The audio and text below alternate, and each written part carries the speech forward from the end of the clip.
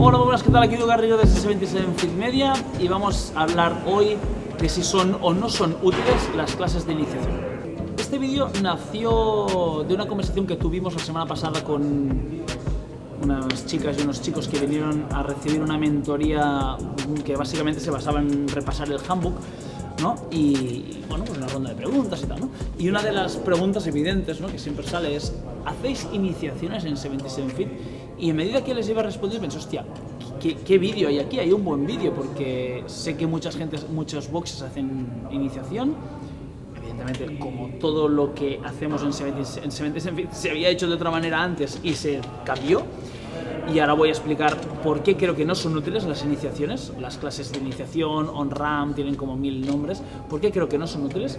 Lo fueron en un momento de la historia, puede ser, pero creo que ahora ya no lo son, como mínimo en el funcionamiento nuestro.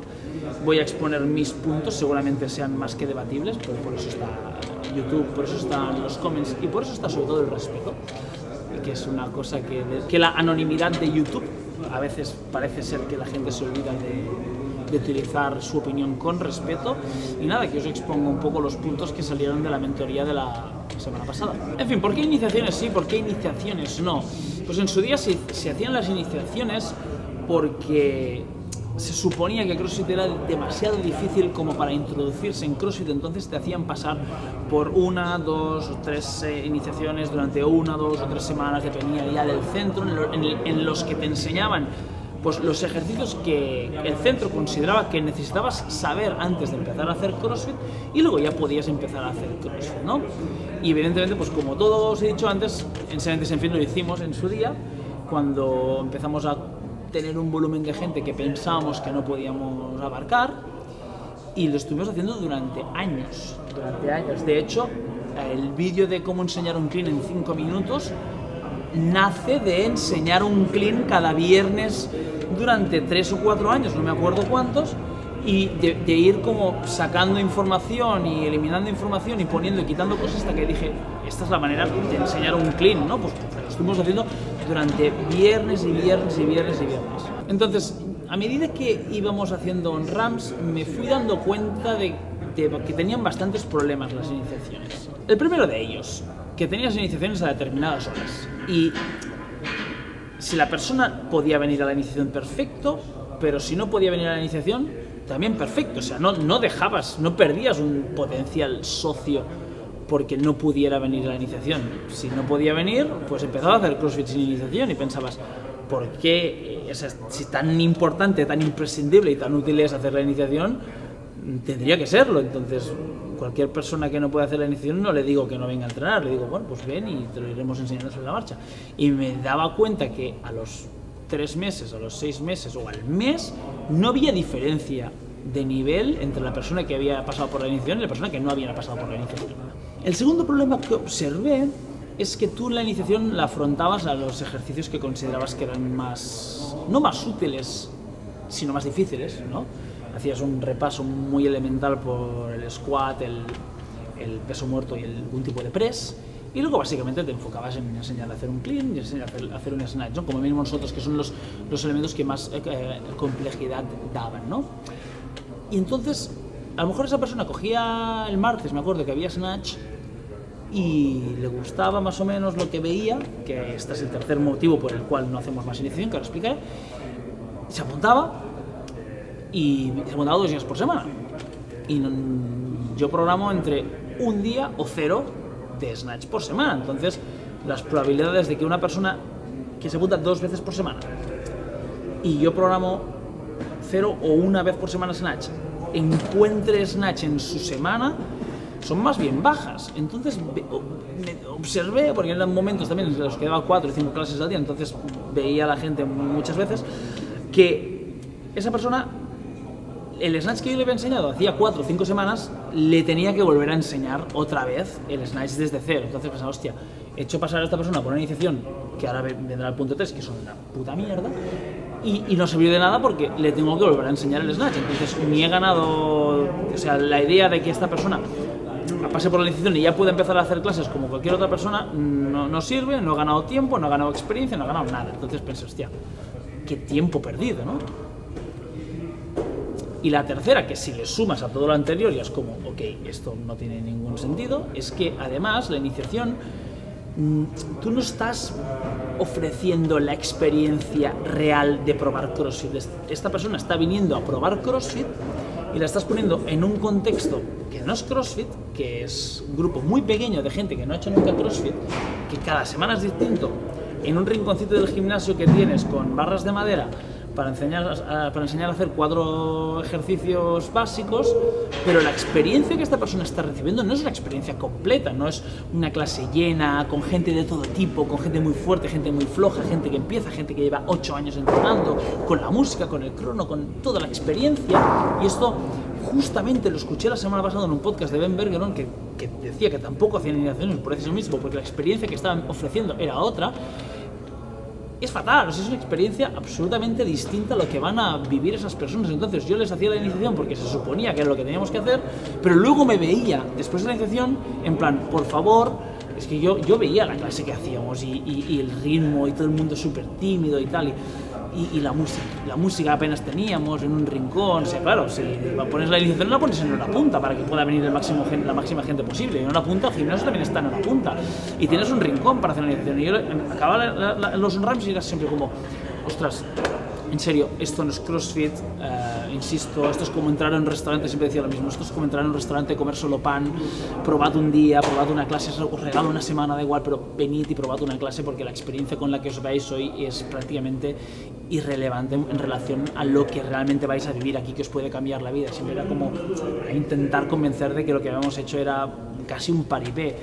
Y, y hasta que un día dije, creo que fue con algún confinamiento, pensé tú, creo que es más útil simplificar mucho la clase de una persona, casi convertirla en una iniciación, pero que lo haga dentro de la clase con 15 personas, con la música, con el crono, con la explicación del WOD en pizarra, con, da igual, luego el scaling más elemental del mundo, pero que viva el, el contexto, porque al final pensar que esto es un gimnasio y lo que hacemos es dar clases, es como pensar que un restaurante es un sitio al que vas a alimentarte, o sea, un restaurante es mucho más y, y, entran muchas más cosas que simplemente que te alimenten y te den comida, ¿no? Pues un poco era, era esta reflexión, entonces dije tú, si hay snatch, le enseñas a hacer clean, si no lo ves claro, le enseñas a hacer kettlebell swing, si no lo ves claro, le enseñas a hacer air squat, da igual, o sea, vas deconstruyendo el snatch hasta que se convierte en un air squat, pero la experiencia de esa persona va a ser mucho más rica, aunque todo el mundo haga snatch y ella esté haciendo air squat,